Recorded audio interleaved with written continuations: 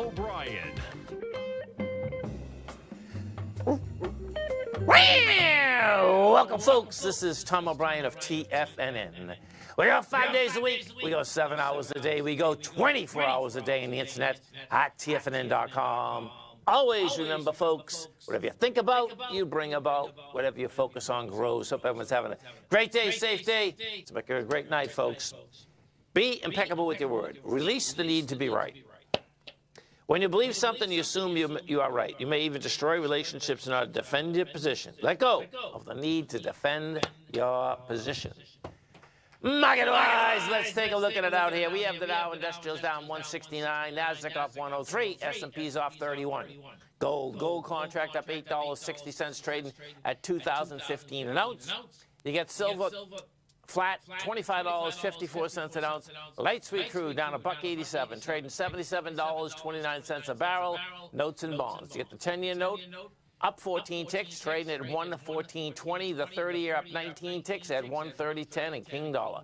King Dollar trading down 107 at 101.860. The Euro at 109, the yen at 134, and the British pound at 124 to 1 U.S. dollar.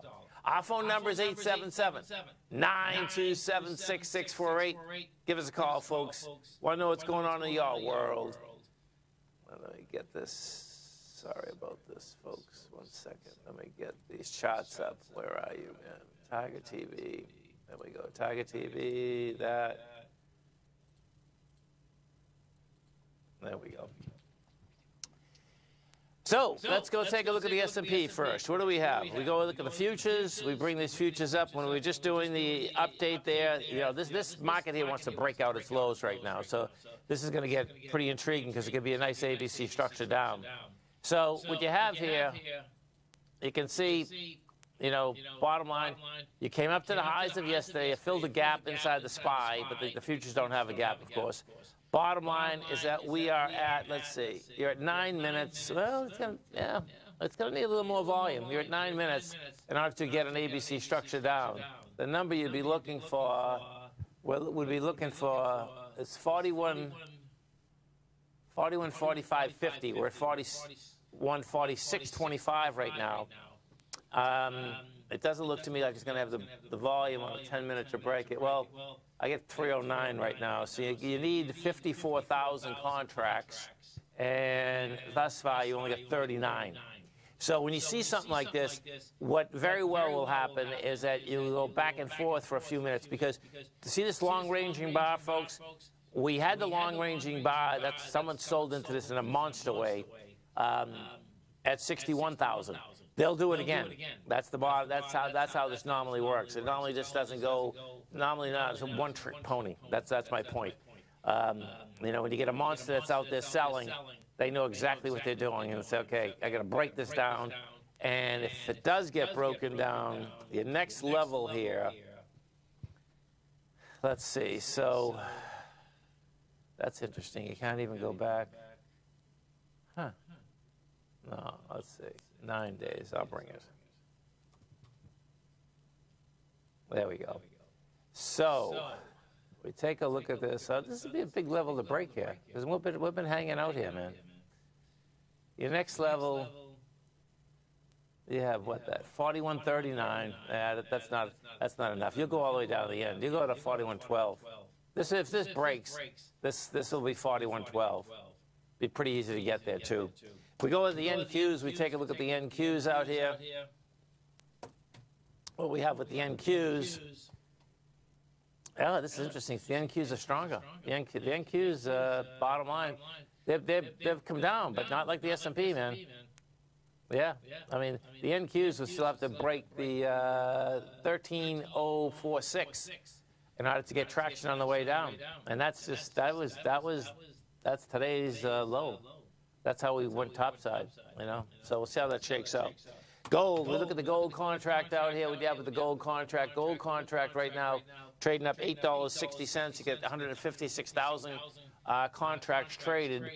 And you're going to need a lot more than that, man. That's the bottom line. Is that this gold to me, you know, what, what we did yesterday you came down and you rejected lower price, but we had volume out there of 211,000 contracts. So that's going to get back down there to test that area. If we go into the Treasury market, we take a look at the Treasury market. What do we have inside the Treasury market? This wants higher price, lower yield. So the Treasuries, let's pull this out a little and see what kind of retracement we just did. So the Treasuries did just over a 0.382 retracement from from the lows to the highs, starting to go higher again. That's in the treasuries one. higher price, lower yield. And then if we get our heads wrapped around the dollar, the dollar saved itself again off of these lows. You know, the, the, the dollar hit uh, 101, 632 today. It's a couple hundred bucks above that, uh, points above that, rather, um, ticks above that not really a lot of action there. But what I suspect, which I said at the beginning of the three o'clock hour on that update, I think would happen here is that, you know, it's so wild, folks, okay? Markets pay attention till they don't pay attention. And then they don't pay attention till they pay attention. And what had happened is that I'm coming out of my car and I'm listening to this interview, and simultaneously, when I get back up in the elevator, the market is tanking, and simultaneously, and what that was about was the, the interview is about the debt ceiling. Um, and, you know, listen, plenty of folks are saying on a continual basis that, you know, this could be a problem. The difference was this, the senator that they were interviewing, he, what he was talking about is that, hey, listen, he had wished, the Democratic Senator, he had wished that they had done it on October when there was a lame duck session so that the Democrats ruled everything they could have done, the debt ceiling ex expansion. They didn't do it. Bottom line, now there's going to be a fight, right? And then they asked him, like, what do you think the probabilities are? Well, the probabilities, he, he said, well, the probabilities that we'll get it done is just a little over 50%. It's like, okay. And then simultaneously, you had BlackRock come out saying that, that they didn't think that people were taking this um, seriously. and, you know, we'll, you know, we know it's selling. And we also know that this is the place that if the market's going to fail, this is where it's going to fail. You know, because you, you've come up to the to the highs of this consolidation. Now the danger thing is that you know you didn't make the high. It's you know it, it, it, it's rounding out, but you know you get that high volume low, so the consolidation is still in place, and you know there's so many folks that are saying that hey man I think it's you know that's top of the range. Well guess what? It's probably a self-fulfilling deal right at this particular point.